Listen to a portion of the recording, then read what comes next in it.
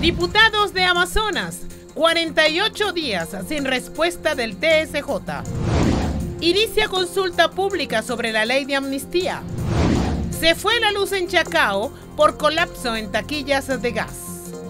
Detalles esta noche en Reporte Unidad.